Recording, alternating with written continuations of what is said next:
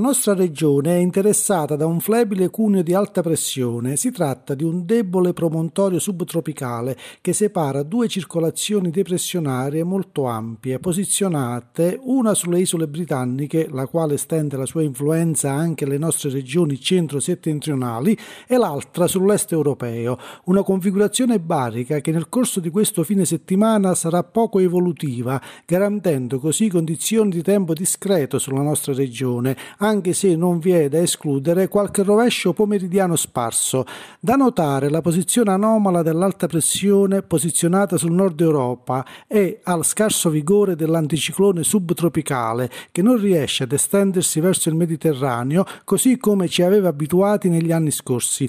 Un segnale che sta ad indicarci che l'estate 2020, almeno nella sua parte iniziale, non dovrebbe riservare forti ondate di calore ma vediamo in dettaglio il tempo previsto per questo fine settimana. Per domani, sabato 13 giugno, avremo cielo irregolarmente nuvoloso con possibili addensamenti, specie a ridosso della catena appenninica, dove sul settore occidentale, nella prima parte della giornata, non si escludono isolati rovesci, fino a raggiungere alcuni tratti di costa. Nel corso del pomeriggio l'instabilità riguarderà segnatamente le aree interne dell'Appennino, dove la probabilità di qualche temporale appare mare piuttosto elevata. Temperature in lieve aumento, venti deboli a tratti moderati da nord-ovest e mare tra poco mosso e mosso. Domenica 14 giugno cielo poco nuvoloso con locali addensamenti pomeridiani lungo la dorsale appenninica dove non si escludono locali rovesci. Temperature senza variazioni di rilievo, venti da deboli a moderati da nord-ovest e mare mosso.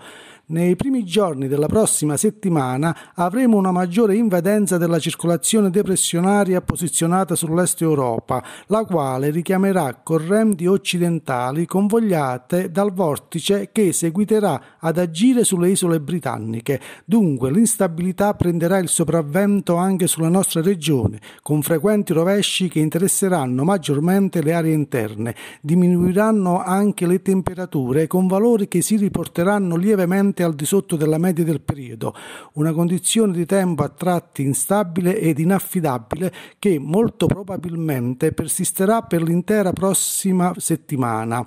Per maggiori dettagli comunque invito i telespettatori a consultare i prossimi aggiornamenti che verranno pubblicati sul sito www.meteo7.it.